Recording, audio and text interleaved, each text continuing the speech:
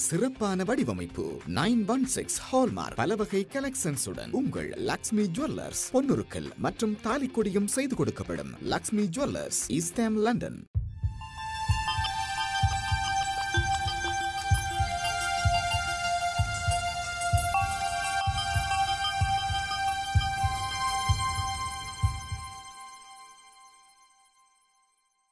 IBC Tamil உறவுகளுக்கு வணக்கம். மருத்துவம் நிகழ்ச்சியினூடாக உங்களை மீளவும் சந்திக்கிறேன். இன்றைய மருத்துவம் நிகழ்ச்சியிலே எங்களோடு கலந்து கொண்டு உங்களுக்கான ஆலோசனைகளை தர இருக்கக்கூடியவர் யாழ்ப்பாண பல்கலைக்கழகத்தினுடைய முன்னாள் மாணவரும் அவர்களுடைய இந்த பிரித்தானிய கிளையிலே அவர்கள் இருந்து இயங்கிக் கொண்டிருக்கின்ற மருத்துவர்கள் சார்ந்து இயங்கிக் கொண்டிருக்கின்றவர்களுடைய அமைப்பினுடைய ஃபவுண்டர்கள் ஒருவரும் அதே போல வைத்திய நிபுணராக தொடர்ந்து இங்கே பணியாற்றிக் கொண்டிருக்கக்கூடிய ராஜரட்னம் மதியழகன் அவர்கள். அவரை நாங்கள் வரவேற்றுக் கொள்ளலாம். வணக்கம் டாக்டர். சதீஷ் சார் உங்கள் அன்பான அறிமுகத்திற்கு எனது மிகவும் நன்றிகள். தேங்க்யூ டாக்டர் இன்றைக்கு நாங்கள் பேச போகின்ற விஷயம் தொடர்பான ஒரு அறிமுகத்தை நீங்கள் சொல்லுங்கள் இன்று ஐபிசி தமிழில் நீங்கள் எனக்கு தந்திருக்கும் வாய்ப்பிற்கு மிகவும் நன்றி. நான் யோசிச்சேன் உணவு கால்வாய் சம்பந்தமான நோய்களும் பிரச்சனைகளும் எமது சமூகத்தில் மிகவும் பொதுவானவை. இன்று மிகவும் பொதுவான முக்கியமான சில உணவு கால்வாய் சம்பந்தப்பட்ட நோய்களை பற்றி கதைப்பதற்கு எங்களுக்கு இருக்கிற நேரத்திற்கு பொருத்தமானது என்று நினைக்கிறேன். என்னென்ன நோய்கள் டாக்டர் இந்த உணவு கால்வாய்கள் சம்பந்தமாக வருது? இந்த நாங்கள் கொண்டு இதை சொல்ல விரும்புகிறேன் என்னென்றால் நாங்கள் எங்களுக்கு வயது போகும்போது எங்கள் உடலில் சுரக்கும் ஹோமோனும் மற்றும் சுரப்பிகளும் இயற்கையாகவே மாற்றங்களை ஏற்படுத்தும். இந்த மாற்றங்கள் பலவிதமான குணங்குறைகளை உருவாக்கலாம்.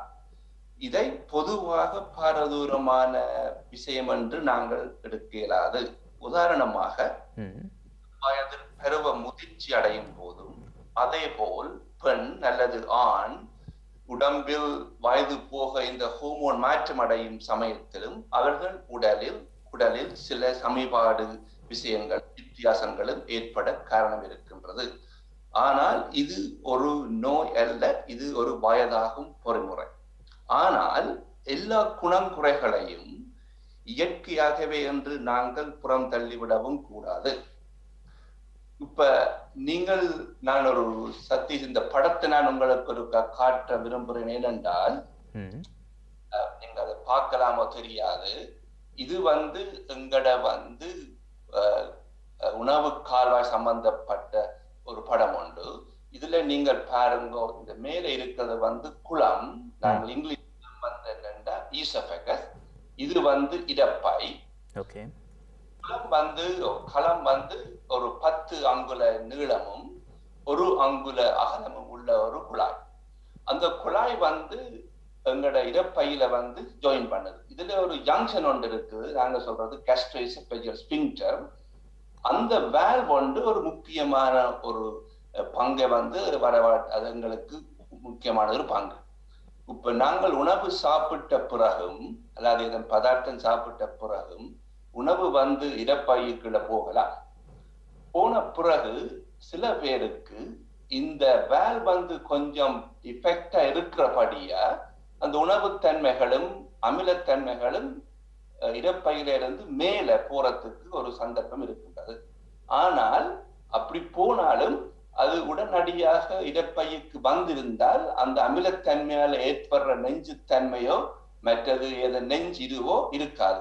ஆனால் இந்த வேன் வந்து கொஞ்சம் வடிவ ஃபங்க்ஷன் பண்ணாட்டி அங்க மேல போற அமிலத்தன்மையும் அந்த உணவுகளும் பதார்த்தங்களும் கீழே வாரத்துக்கு கொஞ்சம் செல் நேரம் எடுக்கிறபடியா அதால வந்து ஆக்களுக்கு நெஞ்சரிப்பும் மற்றது அமிலத்தன்மையும் அசிட் ரீஃப்ளக்ஸ் என்று சொல்லுவிடம் அது வர சந்தர்ப்பம் இருக்குது.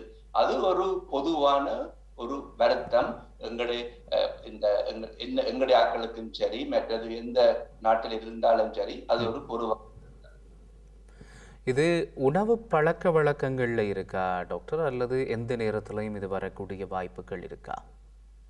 இது என்ன நான் சொல்ல வேணும் என்றால்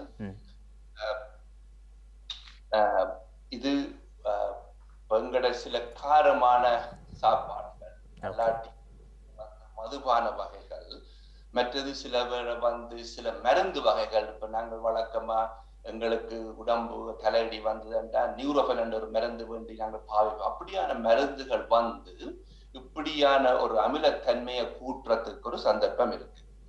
ஆனா நான் விடயத்தை நான் இங்கு வலியுறுத்த விரும்புகிறேன் என்னென்றால் எல்லா உணவுகளும் எல்லா மனிதருக்கும் எல்லா நேரத்திலும் இந்த பிரச்சனையை கொண்டு வருவதில்லை. ஓகே ஆனா சில உணவுகள் பொதுவாக கூடின காரம் மற்றது மதுபானம் மற்றது சில பேர் எண்ணத்தன்மையான சாப்பாடுகள் வந்து சில பேர் இப்படியான அமிலத்தன்மையை கூட்டி அந்த அசிட் ரீஃப்ளக்ஸ் வர்ற அளவுக்கு இருக்கலாம். ஓகே இப்போ சில நேரத்தில் சில பேர் சொல்கிறத கேள்விப்பட்டிருக்கிறோம். இரவு நேரத்தில் கொஞ்சம் தாமதமாக சாப்பிட்டிருப்பினும் இரவில் அதை விடிய எழும்புற நேரத்துக்கு அந்த சமிபாடடைகிறதுக்கான நேரங்கள் கூட சிலவில் காணாமல் இருக்கும். இரவு கொஞ்சம் லேட்டாக சாப்பிட்டு அதிகாலை எழும்பக்கூடிய ஆக்கள் என்ன பார்த்தீங்கன்னு சொன்னால் நீங்கள் சொன்ன மாதிரி அந்த அமிலத்தன்மை அவர்கள் அதிகமாக உணர்ந்திருக்கக்கூடிய வாய்ப்பு இருக்கும் அதுக்கான காரணங்கள். ஆனால் இப்போ அந்த உணவில் வந்து எண்ணெயோ அல்லது வேறு விஷயங்கள் இருக்கா? ஒரு சாதாரணமாக வழக்கமாக சாப்பிட்ற உணவாக தான் இருக்கும் ஆனால் இதில் ஒரு அமிலத்தன்மையை காணக்கூடிய மாதிரி இருக்கும். என்ன காரணம் அதுக்கு? அது இப்போ நீங்கள் சதீஷ் நீங்கள் சொன்ன விஷயம் உண்மையான விஷயம் என்னன்னா நாங்கள் எங்களோட வாழ்க்கைய அஹ், இதுல படுத்தீங்கன்னா சில பேர் வந்து வேலைக்கு வீட்டுக்கு வந்து டைமுக்கு வந்து சாப்பிடுற அளவுக்கு அப்ப இந்த தொழில் சம்பந்தமான விஷயங்கள் வந்து கஷ்டமா இருக்கு ம். அப்ப லேட்டா வந்து சாப்பிடுறபடியா வழக்கமா நாங்க சொல்றோம் நாங்க என்னன்னா நீங்கள் சாப்பிட்ட பிறகு ஒரு ரெண்டு மூன்று மணித்தியாலம் வந்து ஒரு நீங்கள் அப்ரைட்டா இருக்கணும் பட் சாஞ்சி இருக்காம தொடர்ந்து நீங்கள் ஒரு டூ த்ரீ ஹவர்ஸுக்கு இருந்தீங்களா அந்த குணங்களும் மேல அமிலத்தன்மை வாரதலை குறைச்சு கொள்ளலாம். மற்றது இன்னும் ஒன்று என்னண்டா நீங்க சொன்ன மாதிரி இந்த இரவிலை ஆக்களுக்கு இந்த நெஞ்சுநே வாரத்துக்கு காரணம் என்னண்டா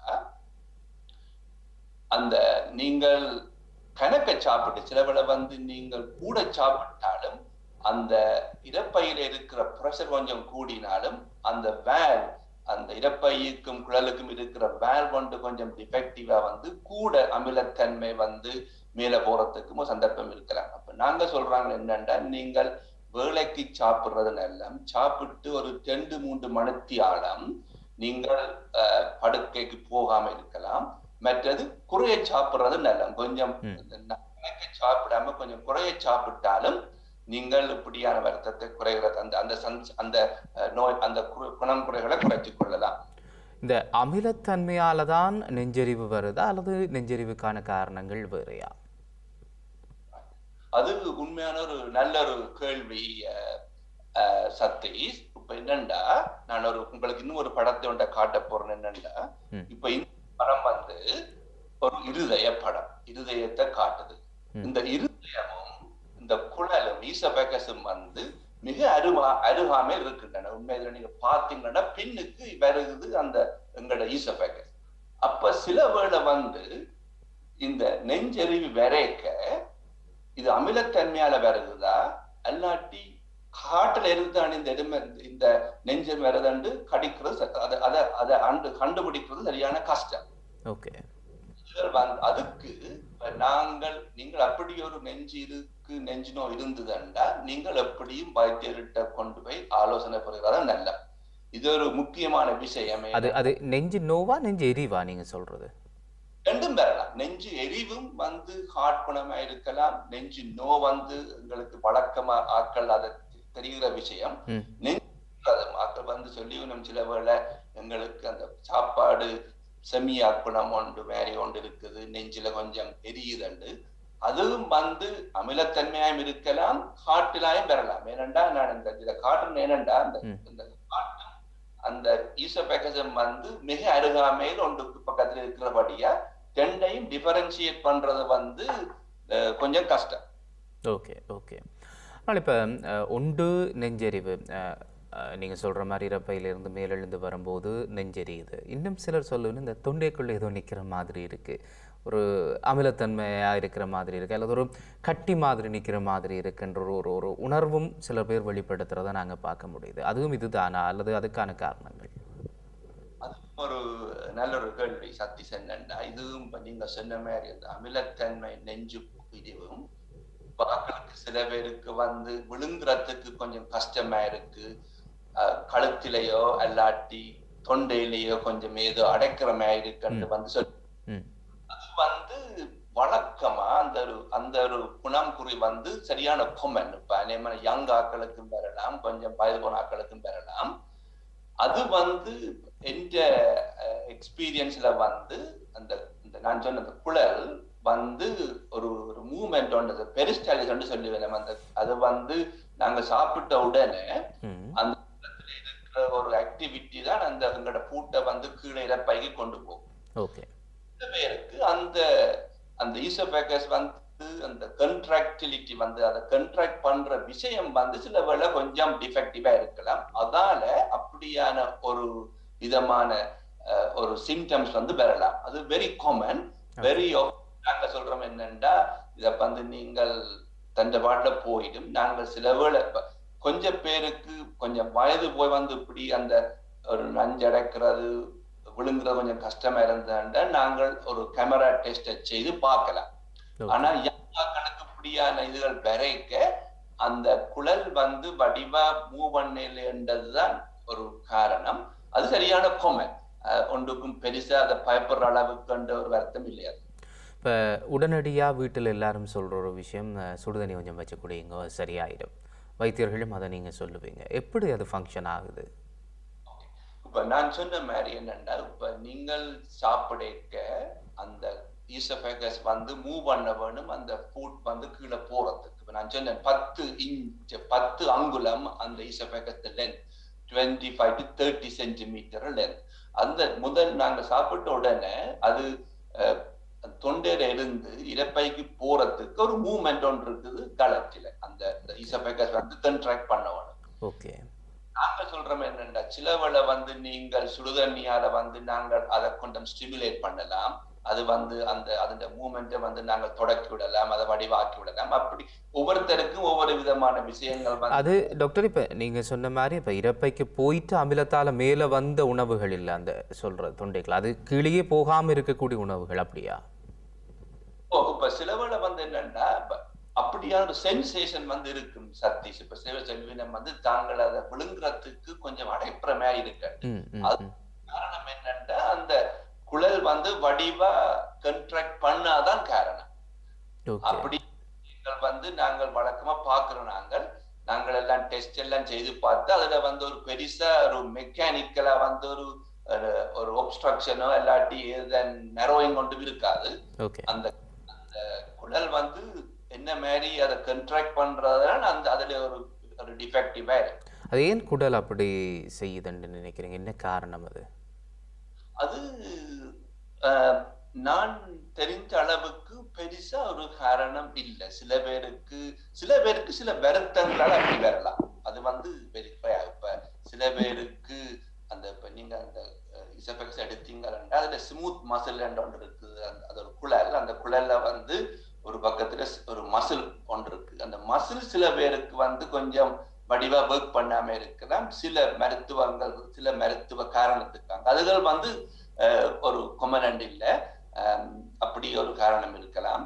மற்றது சில பேரை வந்து ஒரு ஆங்ஸைட்டி ஒரு மன அழுத்தத்திலையும் மன ஒளிச்சலிலும் மன எழுச்சலிலும் வந்து அப்படியான ஒரு ஒரு குணங்குறி வேற பார்க்கலாம்.